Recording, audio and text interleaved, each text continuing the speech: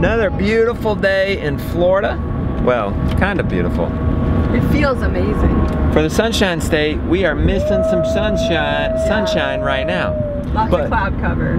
It's not gonna stop us from seeing some things. What are we gonna do today? We are going to Loggerhead. We are going there to see turtles. And it's like a refuge, I think, for turtles. I don't know. I've just heard from lots of people that we should go there. So I mentioned it to Krista. She's like, oh yeah, it'd be great. So that's where we're headed.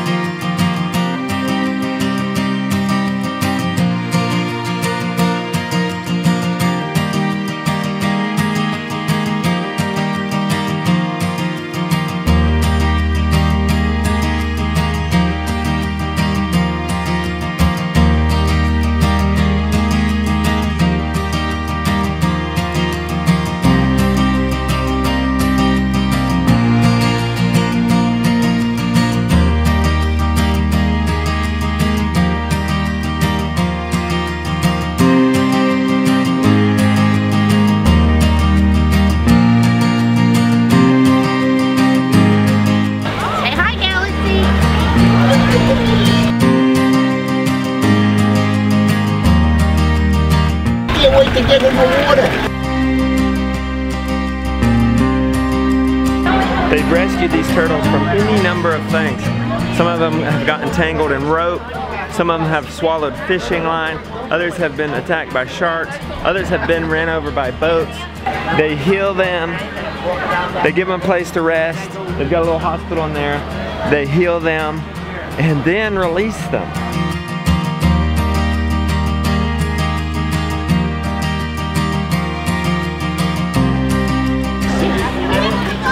You see the turtle?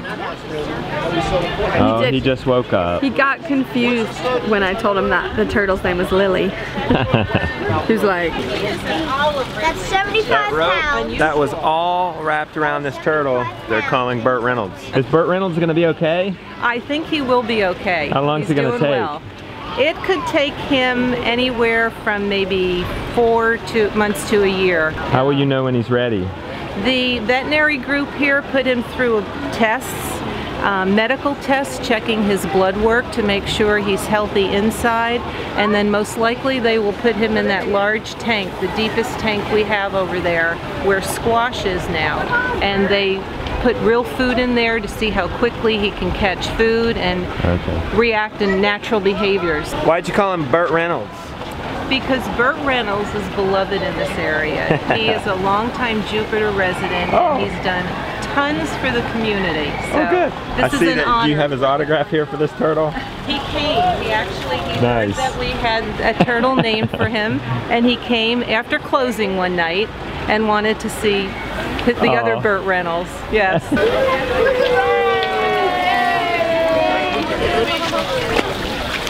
Might be on a pole, the bag on a pole, uh, or, or on TV sometimes.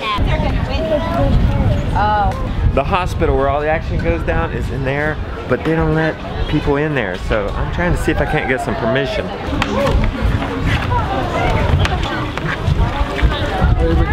That one was hit by a boat.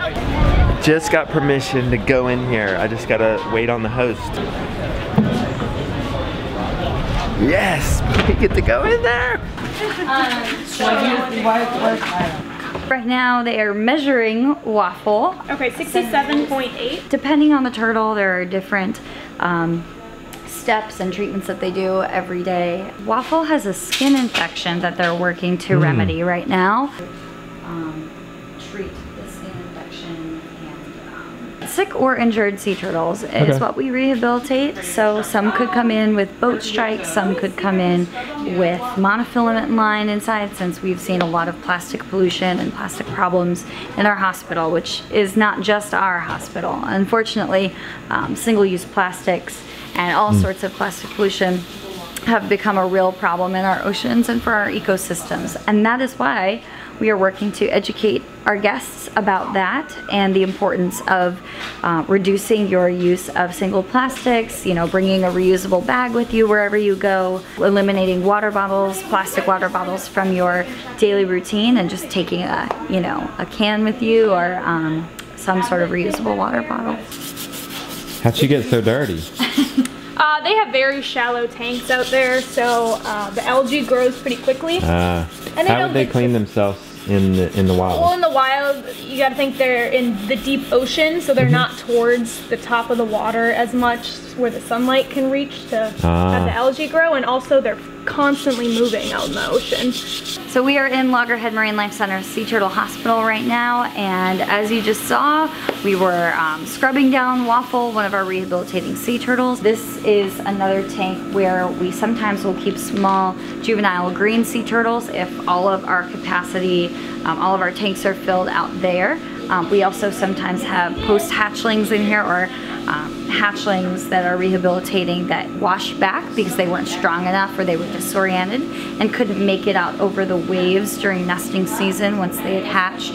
This is where we conduct our blood research, um, our blood research laboratory, our pharmacy, um, so always medications, which might look like your medicine cabinet a little bit. This is where we conduct surgeries if we need to. For example, if there's a turtle that has accidentally swallowed a fishing hook that's lodged in the um, esophagus, um, and, and is stuck and the turtle can't pass it on its own, um, surgery may be needed. So this is where that would be conducted. We're right here in front of our um, high definition digital x-ray um, room. We're able to find out, like I said, more about what's really going on underneath the carapace inside the turtle. If there is a need for surgery, we're able to really see where say monofilament line or a hook or a balloon, some piece of plastic. Again, if they can't pass it on their own, maybe we would we would administer surgery. We have a shelf here that shows um, just some of the sea turtle patients that we had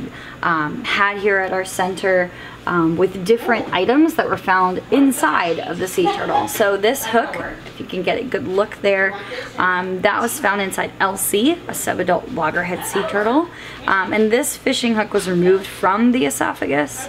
We're working really hard here at Loggerhead Marine Life Center to ensure that people know the damage that can be done, but even more important, what can they can do to reduce that damage and what they can do to help. That's what we're doing here at Loggerhead, helping turtles like Waffle and uh, just teaching people about the importance of these animals in our ocean ecosystems.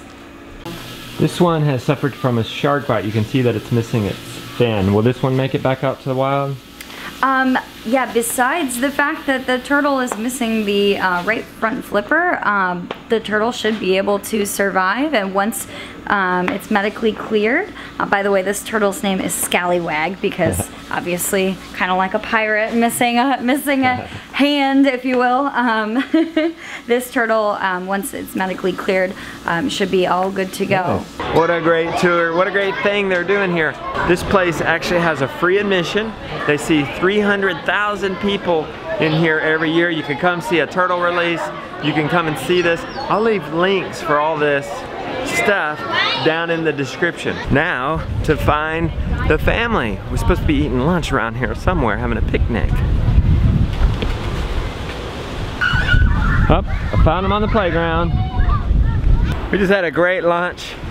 Walking back to the car through this little nature trail thing, we're about to go to where the beautiful one grew up, just west of here in West Palm Beach, and see her old house. This is people.